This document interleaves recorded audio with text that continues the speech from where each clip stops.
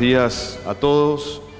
Muchas gracias por venir en este encuentro de directivos y coordinadores de centros que ya se ha convertido para nosotros en una tradición, ¿no? para comenzar juntos el año, los que tenemos la tarea de conducir las distintas obras educativas de la diócesis, los colegios del obispado, las obras educativas comunitarias de Cáritas, los colegios de congregaciones religiosas, los colegios privados con orientación católica.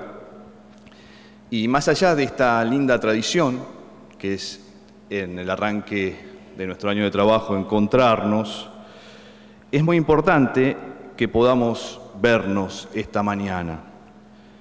Los que estamos acá hoy reunidos compartimos la misión de acompañar y orientar a quienes forman parte de la comunidad educativa en el desarrollo del proyecto educativo institucional. Y, mejor, y qué mejor que animarnos los unos a los otros en estos días en los que ponemos en marcha el año y compartir este rato, esta mañana, de reflexión, de trabajo, de oración.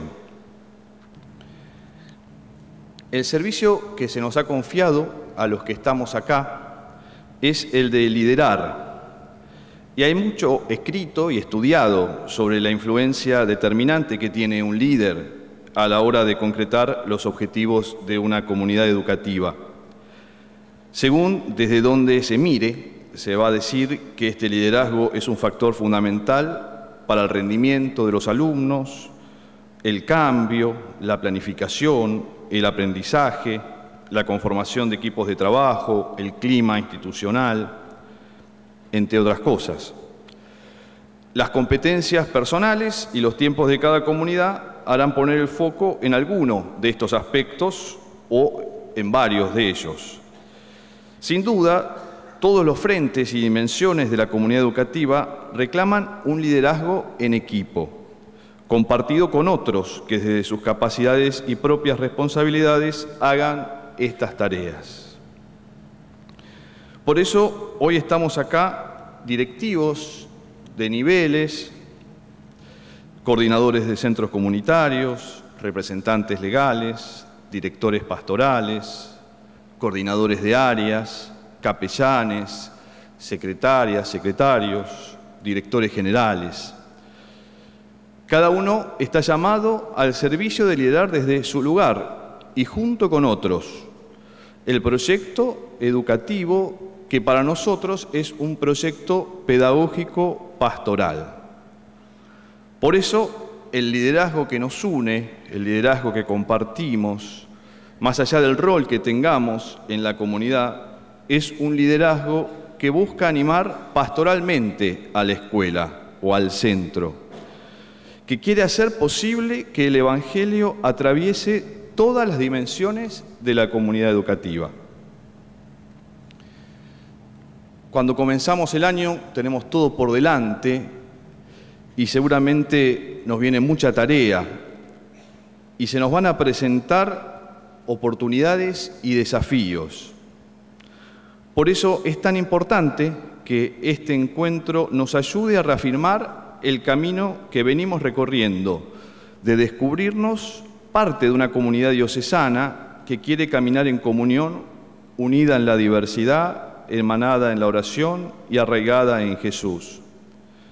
Esto quiere decir que estas oportunidades y desafíos podemos compartirlos y apoyarnos para afrontarlos. Frente al desafío de la gestión, de hacer posible que lo que soñamos y planificamos suceda, el año pasado comenzamos un camino de reforma en las obras diocesanas para sostener, fortalecer y mejorar el servicio que ofrecemos. Como una de las acciones concretas en este sentido, se establecieron nueve equipos de gestión conformados por colegios y obras de cáritas, que se nos presentan como una gran oportunidad para hacer realidad esta comunión que anhelamos. Todo esto se convierte en posible desde el servicio generoso que realiza cada uno de los que les toca participar de un modo más directo de este proyecto y también de aquellos que acompañan desde otros lugares. Y por eso se los queremos agradecer especialmente. Del mismo modo, el año pasado, este, en este año que estamos iniciando, nos renueva la esperanza que nos da saber que tantos niños, jóvenes, familias, educadores, la comunidad local, encontrarán en nuestros centros y escuelas la posibilidad de formarse, de crecer, de sentirse acompañados. Es muy grande el impacto que generan nuestras obras educativas y es un objetivo de este año realizar acciones concretas para poder dimensionarlo y estudiarlo, llevando adelante distintas investigaciones que nos ayuden a conocer nuestras prácticas educativas para potenciarlas y corregirlas en lo que fuera necesario. Para ello estamos estableciendo acuerdos de colaboración con distintas entidades, como por ejemplo el BID y algunas universidades. Ya les iremos contando al respecto, pero desde ya los invitamos a sumarse con entusiasmo a estas iniciativas que nos ayudarán, sin duda, a poder mejorar, como decíamos recién, y cumplir el objetivo de la reforma de la profundización de lo que venimos haciendo y que el servicio que le brindamos siga siendo la diferencia en cada uno de los lugares de la diócesis en los que se lleva adelante. Como iglesia comenzamos el 2016 en el marco de la invitación que nos hizo el Papa Francisco de celebrar el Año Santo de la Misericordia. Este encuentro de esta mañana quiere tener entonces este espíritu, quiere poder mirar especialmente esta propuesta que nos hace el Papa. Y entonces los invitamos para ponernos en, clima y para ir metiéndonos en lo que significa esta propuesta, a ver un breve video que nos da algunas ideas sobre el tema. El Papa Francisco en marzo anunció la... Cesana nuestro obispo nos invita a recorrer el año de la misericordia, en este año de la misericordia, un camino diocesano que involucra una acción misionera en la que podamos enriquecernos los unos a los otros, compartiendo nuestras fragilidades y nuestros valores que surgen de nuestra diversidad. Este camino diocesano para la conversión pastoral es una propuesta que no busca terminar en ella misma, sino que pretende ser una herramienta que nos ayude a ir creando entre nosotros un nuevo estilo misionero, ya que debemos asumir el desafío de cambiar nuestros modos de ver, de pensar y de hacer, y esto es más que una acción pastoral puntual.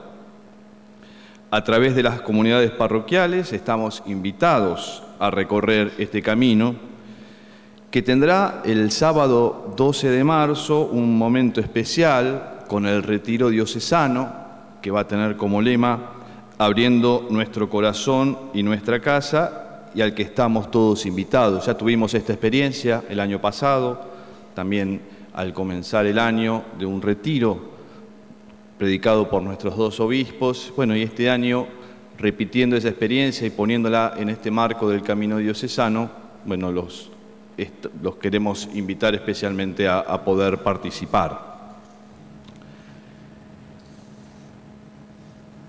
Y este año de la misericordia queremos que esté especialmente presente en la vida de nuestras comunidades educativas.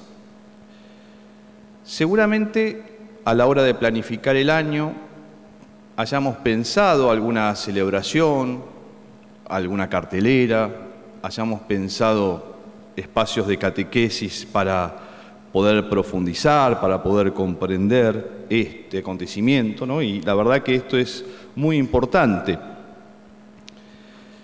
Pero hay un reto mayor que tenemos, y es que podamos hacer que el espíritu del año de la misericordia, de este jubileo, que es de un mirar de un modo distinto y más intenso, que podamos poner la mirada, tener la mirada fija en la misericordia, para poder ser también nosotros mismos signo eficaz del obrar del Padre, como dice el Papa en la bula de convocatoria de este jubileo. Que ese espíritu atraviese todas las dimensiones de la comunidad educativa. El desafío de poner la escuela o el centro en clave pastoral encuentra en este año santo una oportunidad especial, ya que hacer que la misericordia esté presente en todas las dimensiones, es decir, en lo que somos y queremos ser, en el ambiente y el clima, en nuestras relaciones, en lo que enseñamos y cómo lo enseñamos, es hacer presente al mismo Jesús en nuestra comunidad. Esto es lo que nos proponemos hacer hoy, reflexionar sobre cómo podemos hacer para que la misericordia atraviese en este año nuestra comunidad y pensar acciones concretas que nos ayuden a poder traducir en gestos, palabras, en prácticas, este espíritu de la misericordia en las distintas dimensiones de nuestra comunidad. El Papa Francisco en marzo anunció la celebración del Jubileo Extraordinario de la Misericordia, comúnmente llamado Año de la Misericordia, con motivo de los 50 años del Concilio Vaticano II. Pero, ¿qué es el Año de la Misericordia? Es una indulgencia abierta a todos para renovar la relación con Dios y con el prójimo, experimentando el amor de Dios que consuela, perdona y ofrece esperanza, practicando durante este año las obras de misericordia como visitar y cuidar enfermos, dar de comer al hambriento, dar refugio al necesitado, socorrer a los presos, entre otras. Y también obras de misericordia espirituales como perdonar, rezar por los vivos y los difuntos, enseñar al que no sabe, entre otras. Siguiendo el ejemplo del Padre, que perdona y ama sin medida, resulta esta una oportunidad para profundizar la fe y vivir con un compromiso renovado del testimonio. Queridos hermanos y hermanas, el año santo de la misericordia ha comenzado en toda la iglesia y se celebra en cada diócesis como un signo visible del amor misericordioso del Padre y de la comunión universal. La iglesia que es una vive la comunión con Dios mismo. Este misterio de comunión hace crecer y madurar en nuestro corazón el amor de Dios que se manifiesta en la misericordia y el perdón. Amar y perdonar son el signo concreto y visible de que la fe ha cambiado nuestros corazones. Este gran signo de la vida cristiana se transforma después en muchos otros signos que son característicos del jubileo, como el atravesar la puerta santa. La puerta simboliza al mismo Jesús. Cuando pasamos por ella, manifestamos nuestra confianza en Él y el deseo de una verdadera conversión. Hermanos y hermanas, les animo a abrir la puerta del corazón para dejar entrar a Cristo y ser portadores de su misericordia.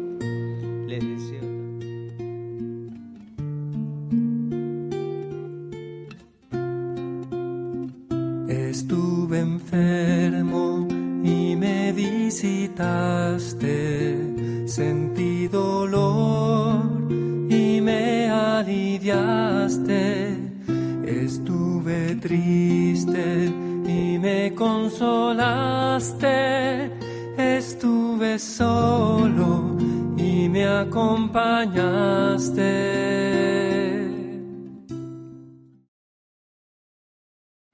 El obispo nos invitaba a iniciar esta mañana desde una contemplación de la misericordia, porque lo que nosotros queremos es adentrarnos en este, en este misterio, adentrarnos en, esta, en este rostro que nos muestra Dios, no desde un concepto.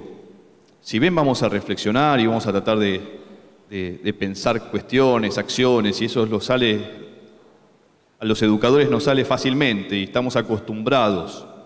Pero acá no estamos pensando en, un concepto que tenemos que, entender, explicar, planificar, sino estamos hablando de meternos en este, en este misterio, de meternos en, este, en esta propuesta que nos hace Dios de verlo, de ver este rostro misericordioso que Él tiene para mostrarnos. Y por eso la idea de los testimonios, porque justamente la misericordia es una experiencia y es una experiencia que se da en nuestras comunidades. Estos fueron dos ejemplos, ¿no?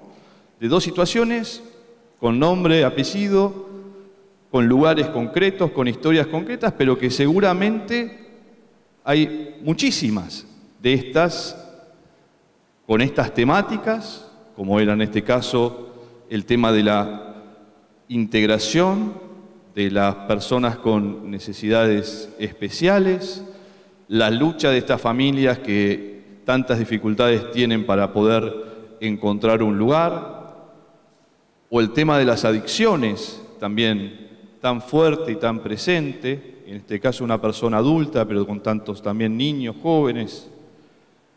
Y seguramente le podríamos poner otros nombres ¿no? a estas experiencias de la misericordia. Y de eso se trata hoy, ¿no? Y, la invitación de este día pasa por este lado, por empezar a, mirar, a poner la mirada en esto que nos sucede, en estas pobrezas que tenemos y a la vez en este rostro misericordioso que Dios tiene para mostrarnos y que nos invita a nosotros también tenerlo. ¿Qué nos proponemos entonces en, en este tiempo de trabajo en grupos? Hay un objetivo que es general y que por suerte es el que podemos concretar cada vez que hacemos este encuentro, especialmente de, inicio de año, y cuando en general hacemos convocatorias para reunirnos. Siempre nosotros cuando en este encuentro, cuando hacemos una capacitación o cuando hacemos alguna otra instancia que convocamos, queremos que generar un espacio para poder vernos, para poder encontrarnos, ¿no? Un tiempo que nos haga descubrirnos como miembros de una comunidad más grande que la comunidad que nos toca estar, que es la comunidad diocesana, y que podamos integrarnos. Además, hoy tener un tiempo de escucharnos, de, poder compartir. Eso es un objetivo que, que siempre tenemos y que por suerte creo que siempre lo podemos cumplir y hoy especialmente entonces en el trabajo en grupo queremos volver a aprovechar. Pero específicamente hoy lo que nos vamos a proponer son dos cosas o, una idea en dos momentos. Primero, reflexionar sobre cómo podemos hacer para que la misericordia atraviese este, en este año toda la vida de la comunidad educativa. Decíamos al principio, el año de la misericordia lo vamos a tener presente, lo tenemos presente. Tendremos el logo, haremos alguna ah, misa, pensaremos en el año pastoral que hacemos, pero hay un desafío mayor, ver cómo esto, cómo esta experiencia está presente en todas las dimensiones de nuestra vida, de la escuela.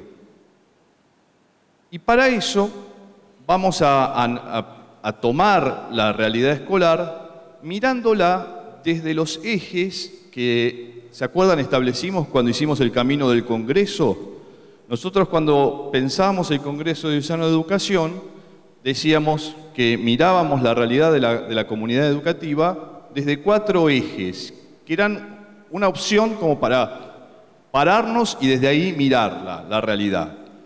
La identidad y las identidades, lo que somos, lo que nos define y lo que queremos ser también. Y ahí aparecía el segundo elemento que era el horizonte y las visiones, lo que pensamos, lo que soñamos. Los interlocutores era el tercer eje. Todas las relaciones, los vínculos que se dan en nuestras comunidades. Y el cuarto eje eran los procesos educativos, es decir, lo específico de nuestra comunidad, que es los procesos de enseñanza y aprendizaje que se dan. ¿Qué enseñamos? ¿Cómo enseñamos? Bueno, vamos a trabajar entonces en cada grupo, a cada grupo le va a tocar alguno de estos cuatro ejes para que esta reflexión sobre la misericordia y cómo hacemos para que la misericordia atraviese esté presente en la, realidad educativa, de la comunidad educativa, la miremos desde ese eje. Entonces al grupo, a un grupo le va a tocar pensar la misericordia y la identidad, a otro la misericordia y los procesos educativos, los interlocutores y el horizonte y las visiones. Cuando lleguen al grupo van a ver cuál es el que les tocó. Y el segundo momento, entonces, el segundo objetivo en esta línea es bueno, pensar acciones que nos ayuden a vivir o a traducir en gestos y palabras la misericordia en las distintas dimensiones de la comunidad educativa. Entonces lo que queremos hacer hoy es irnos con alguna idea. A ver, está bien, tenemos, vemos, nos vamos metiendo en este misterio de la misericordia, queremos contemplarlo, reflexionamos sobre qué relación tiene la misericordia y la evaluación, si pudiéramos ponernos a pensar. Y bueno, ¿y qué podemos hacer? ¿Y qué hacemos con eso? ¿Qué acción se nos ocurre? ¿Qué gesto se nos ocurre? Y esa es la idea del trabajo, que en grupo, pensando juntos, podamos tirar alguna línea en ese sentido. Para que si nos sirve, bueno, después nos animemos a llevarlo a nuestra propia escuela, a nuestro propio centro.